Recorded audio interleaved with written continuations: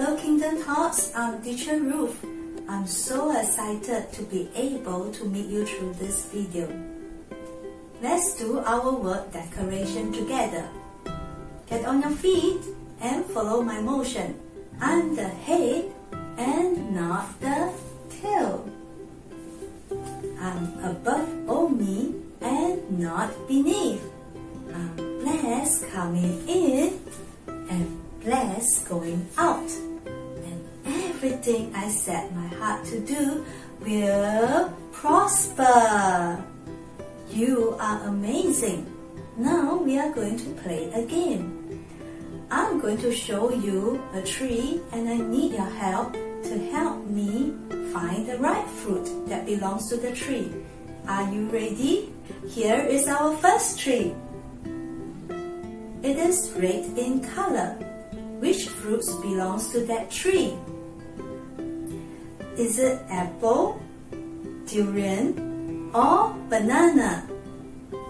That's right, it's apple.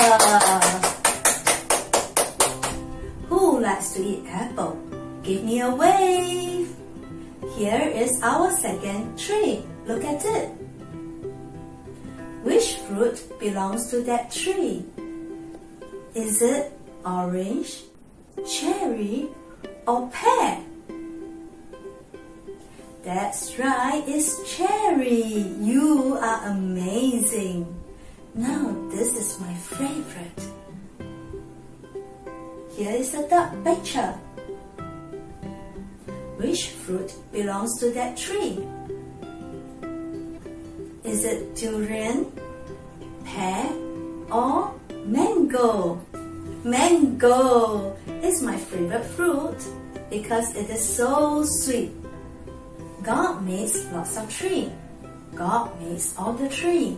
In the Bible, God said to Adam and Eve to eat from all the trees, but not this tree. No, no, no. But Adam and Eve did not listen to God.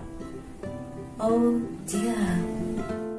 They disobeyed God and ate the fruit. They wanted to be like God. They wanted to be so big and they wanted to be so strong. But only God is so big and only God is so strong. Children who is so big. That's right, God is so big. Children who is so strong. That's right, only God is so strong. Our memory verse from Genesis 1 1 says, In the beginning, God created the heaven and the earth. Our God is so big. Our God is so strong. Now we are going to pray. Put your hand together and close your eyes. Dear Heavenly Father, thank you for being so big and so strong. I'm sorry to disobey you. There's no one like you. I love you, Jesus. In Jesus' name we pray. Amen.